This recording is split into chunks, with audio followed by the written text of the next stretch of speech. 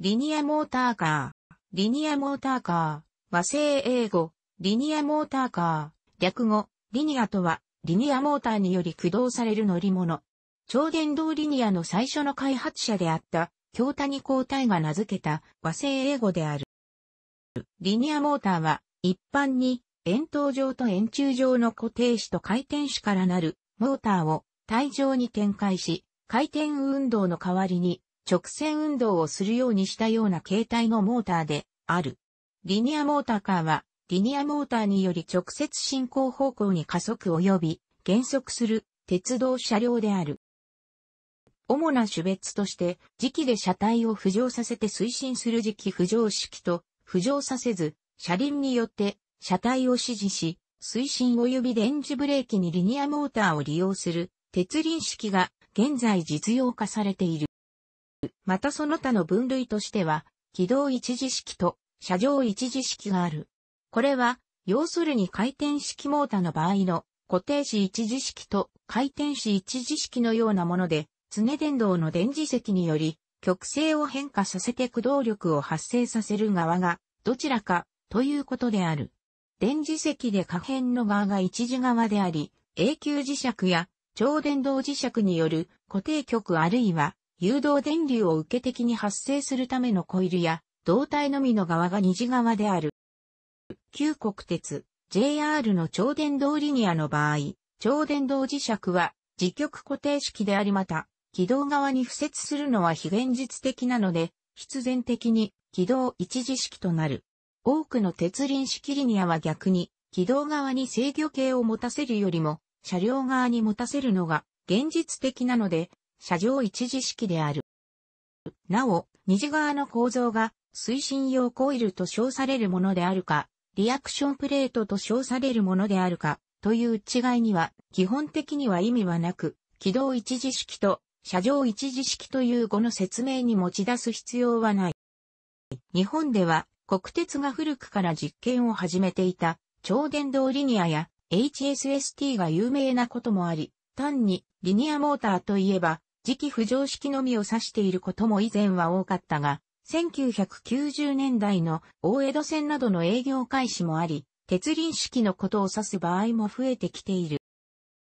また、英語圏では、磁気浮上式鉄道を読み、マグレブ、磁気浮上を表す、マグネチックレビテーションを略したものと呼ぶのが一般的であり、また、日本語と逆にリニアモータ駆動について指す一般に広まっている語はない。なお当然ながら鉄輪式リニアなどは、マグレブではない。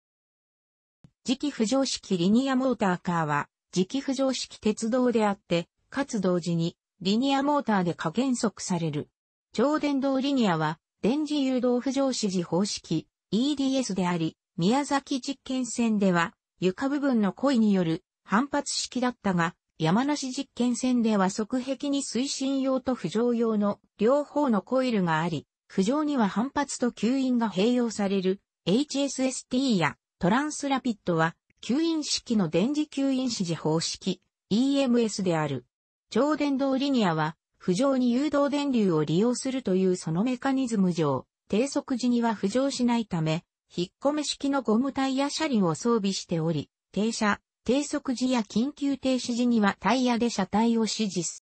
日本初の営業運転は HSST による1989年の横浜博覧会における ES89 線である。運行されていたのは博覧会の期間中であったが、展示走行ではなく、磁気浮上式鉄道として、運輸当局の第一種鉄道事業、営業運転免許を得た旅客輸送であった。現在営業運転を行っているものは、日本では愛知高速交通東部丘陵線、リニモ、その他の国では、中国、上海トランスラピッド、調査リニア海線、北京市郊外鉄道 S 線、韓国、エキスポ科学公園線、インチョン空港磁気浮上鉄道のみであり、他は実験、試験段階にとどまるか、すでに廃止されている。将来においては日本で2027年をめどに、首都圏、品川駅中京圏、名古屋駅間を結ぶ中央新幹線の営業運転開始を目指している。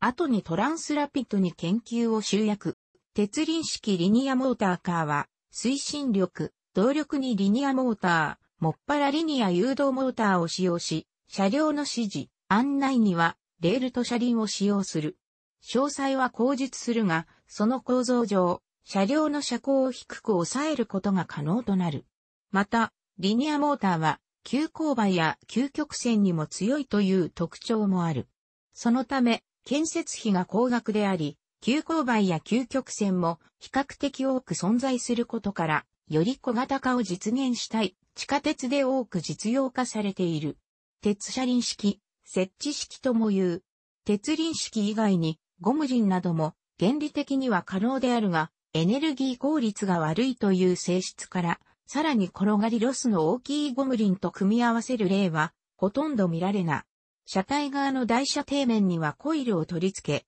地上側にはリアクションプレートを軌道中央に取り付けて固定している。走行の際には車両側のコイルに参照交流を流すことで誘導電動機の回転磁界に相当する移動磁界が発生する。これによりリアクションプレートに渦電流による磁界が発生して車体側のコイルとリアクションプレートの間で磁力の吸引、反発が相互働いて車体に推進力を発生させる。また、終電方式には、直流線 500V の電力を各電車線、または合体化線に流して、パンタグラフにより、終電する架空電車線方式を、ただし海外では、第三機乗方式の際例もある。車両の制御方式には、リニア誘導モーターを使用するため参照交流を制御可能な VVVF インバータ制御を採用している。このため、低角速度までは滑り周波数一定制御により、